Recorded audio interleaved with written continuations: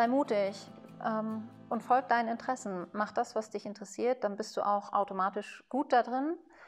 Und im späteren Job wirst du ja auch acht Stunden mit dem Thema verbringen müssen. Und das sollte man sich bewusst machen bei der Entscheidung, ähm, was man machen möchte.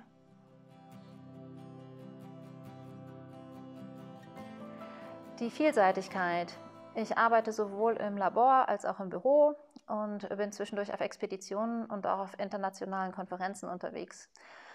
Und ähm, das Arbeiten als Forscherin bringt einfach mit sich, dass man ähm, Theorien aufstellt und dann Daten erhebt, um die zu verifizieren. Und ähm, nicht zu selten passiert es, dass die Daten gar nicht das, die Modellvorstellung, die man hat, unterstützen. Und dann gilt es, neue Modelle aufzustellen und nochmal alles zu hinterfragen und neu zu bedenken. Und ähm, das ist das, was mich besonders reizt an dem Job.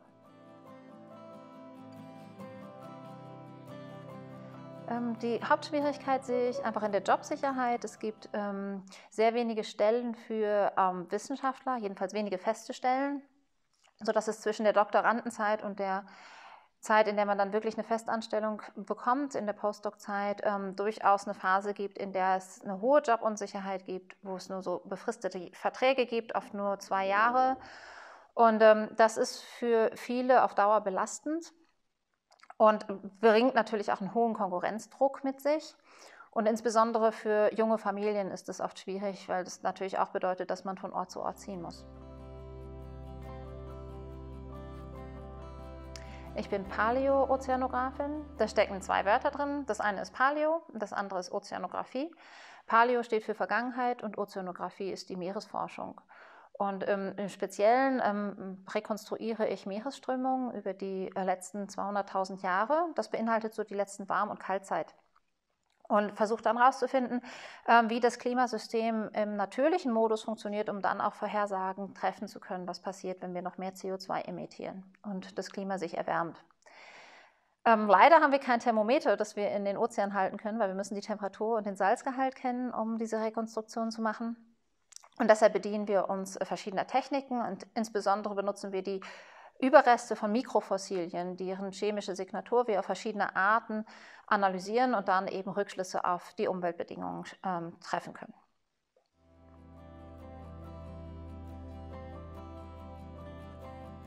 Ich bin im Ruhrgebiet groß geworden und habe mich schon ganz früh für Schnee und Eis interessiert und dabei festgestellt, dass man mit Hilfe von Eisbohrkernen die Klimavergangenheit der Erde rekonstruieren kann. Und das fand ich dann so spannend, dass ich das gerne studieren wollte und habe in meinen Recherchen festgestellt, dass es ein Nebenfach der Geologie ist.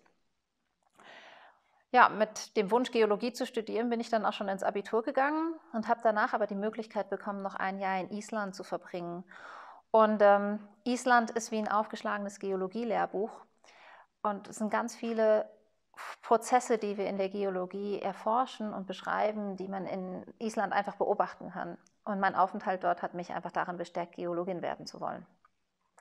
Mein Studium habe ich dann absolviert in Kiel, ähm, großes Zentrum der Meereswissenschaften, und habe zwischendurch dann ein Semester auch in Bergen, Norwegen verbracht.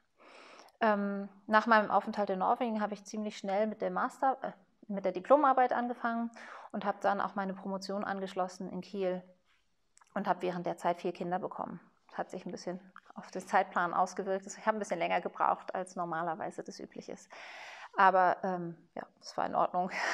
Ähm, ich konnte im Anschluss an meine Promotion noch drei Jahre weiterhin in Kiel ähm, arbeiten und habe da auch geforscht und äh, war in der Lehre tätig und habe zusätzlich Expeditionen organisiert, äh, von der ich die eine dann auch durchgeführt habe, als ich schon in Mainz war. Nach Mainz bin ich 2016 gekommen und arbeite seitdem hier als Wissenschaftlerin am Institut und ähm, habe seit 2019 zusätzlich die Aufgaben der Arbeitssicherheit übernommen und habe dadurch jetzt auch eine feste Stelle, sodass ich mich ähm, ja, dass ich mich darauf freuen kann, die nächsten Jahre auch weiterhin hier am Institut arbeiten zu können.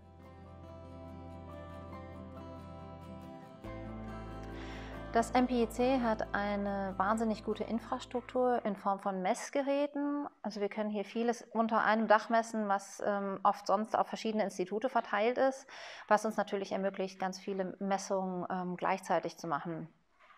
Zusätzlich kommt dazu, dass wir eine sehr gute Entwicklungsabteilung haben, ähm, die auch Messgeräte selber bauen kann, sodass wir, ähm, wenn wir neue Methoden entwickeln, da auch bestmöglichst, bestmöglichst unterstützt werden. Und zusätzlich fällt mir am MPIC immer wieder auf, ähm, dass sich hier sowohl Verwaltung und Technikabteilung als auch Wissenschaft als Team verstehen. Und ähm, das Ziel ist, eine bestmögliche Forschung zu ermöglichen. Und ähm, das habe ich so vorher noch nie erlebt.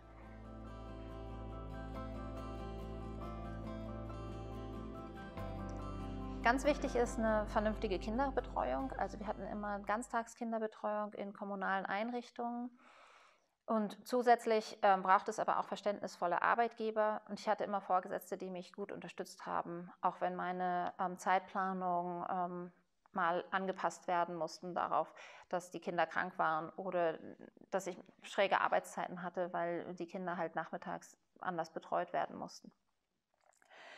Ähm, zusätzlich ist es aber auch so, dass wenn man Karriere und Kinder unter einen Hut bringen will, man immer irgendwo Abstriche haben, machen muss, weil der Tag nur 24 Stunden hat. Und ähm, das muss man in erster Linie an der eigenen Freizeit. Ich glaube, das ist auch nicht nur in der Forschung so, sondern auch bei allen anderen arbeitenden Familienmüttern und Vätern.